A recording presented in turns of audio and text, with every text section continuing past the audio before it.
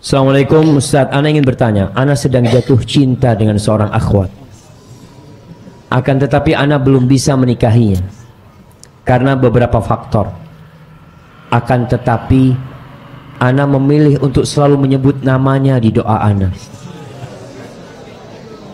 Tentunya setelah Ana berdoa untuk diri Ana dan orang tua Dengan harapan agar Allah mempertemukan kami sebagai pasangan yang halal di pelaminan akan tetapi Ustaz, apakah dengan ana selalu menyebutkan menyebutnya di dalam doa ana itu menjadi fitnah bagi ana karena jadi selalu mengingatnya, mengingat dirinya Ustaz. Takut akan hal tersebut dapat mengganggu studi ana Ustaz. Mohon nasihatnya Ustaz bagi hamba yang sedang kasmaran ini. Maaf. Kita ini kalau kajian buat mahasiswa ya, buat anak-anak muda ini Memang babnya nggak jauh dari bab itu.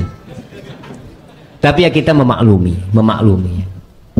Karena masa muda ini masa ujian yang berat. Sehingga nanti akan ada pertanyaan khusus tentang masa mudamu. Kau gunakan untuk apa?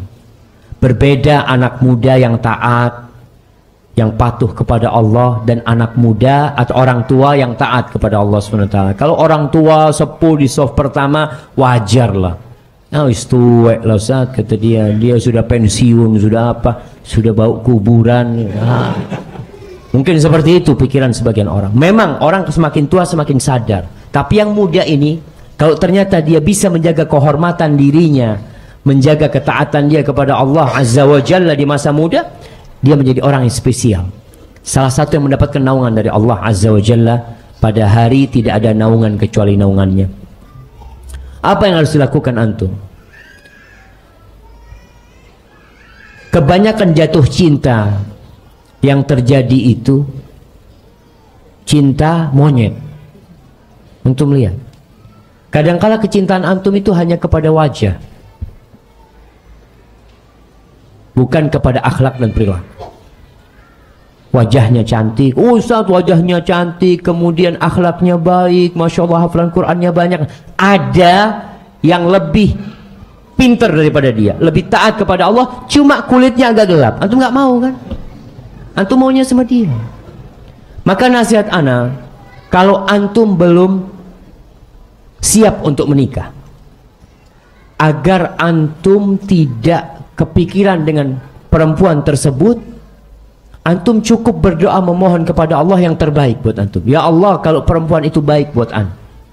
Kalau perempuan itu baik buat ana, buat kehidupan ana di dunia, buat urusan agama ana yang sekarang dan yang akan datang, takdirkan dia jadi milikku ya Allah. Tapi kalau enggak, paling kendi. Selesai sudah antum istikharah. Minta sama Allah Subhanahu wa taala yang terbaik. Tapi kalau antum terus menyebut nama dia, menyebut nama dia terus-terusan ya, akhirnya antum kepikiran terus dengan dirinya. Sehingga konsentrasi belajar antum buya apalagi kalau suatu saat antum dengar fulana mau nikah. Dan bukan sama antum. Apa yang akan terjadi sama antum?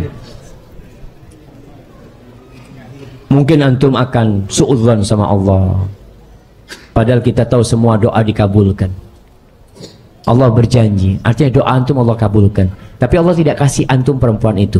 Allah nggak kasih itu perempuan yang antum pinta tapi Allah kasih perempuan yang lebih baik daripada itu perempuan. Tapi karena antum punya nafsu kadangkala dikasih yang lebih baik antum tetap memandang itu wanita. Bahkan dalam hati mengatakan aku akan tunggu jandanya.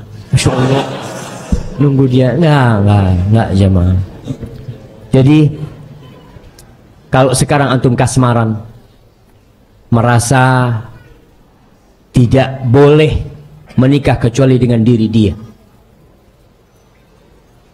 Sejatinya ketika antum menikah sama dia akan datang masa antum bosan sama dia. Datang. Jadi jangan tertipu dengan pandangan mata tapi berdoalah minta yang terbaik kepada Allah Azza wa Jalla. Hadza wallahu a'lam bishawab. Dan yang terakhir, ketahuilah penyakit yang menyebabkan kasmaran, yang menyedahkan menyebabkan jatuh cinta itu adalah pandangan mata. Kalau antum nggak jaga pandangan mata antum, ya akan seperti itu. akhwat itu kalau lewat ya antum pura-pura nyapu depan STDI Masya Allah kadangkala pura-pura membantu satpam ya ya anak jagain. Pak Satpam silahkan pergi ke mana? Anak jagain anak lihat sebagian mahasiswa seneng banget di tempat satpam gitu. Anak ngapain ya wallahu alam. Mungkin ada wallahu alam anak gak suudzon ya ya. Suudzon mungkin dia mau bantu STDI bukan mau. Tapi kadangkala orang itu akan melakukan tindakan-tindakan yang yang seharusnya dia malu jemaah tapi gak malu. Kenapa? Karena jatuh cinta dia هذا وصلى الله على نبينا محمد وعلى آله وصحبه وسلم. السلام عليكم ورحمة الله وبركاته.